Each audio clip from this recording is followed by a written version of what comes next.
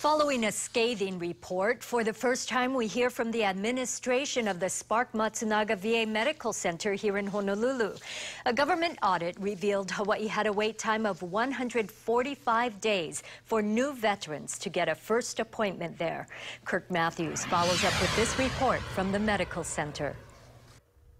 The survey came as a shocker. We wanted to know why the wait is so long, and more importantly, what can be done to change that. Even before the national news came up over the last few months about what happened on the mainland, uh, we were looking at our processes and how we can improve efficiency, um, tackle some of the unique challenges that we have of the wait times that our veterans have for new appointments. One of those unique challenges, this medical center serves veteran patients from as far away as Guam, American Samoa, and Saipan.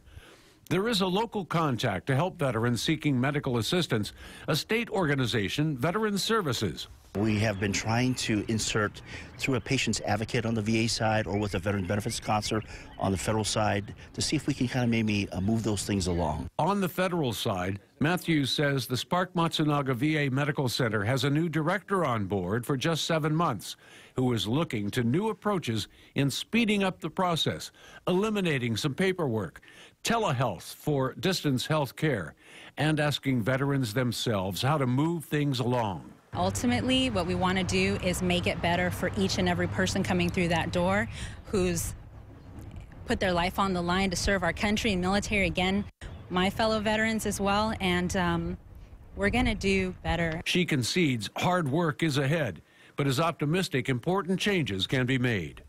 Kirk Matthews, KHON 2 News.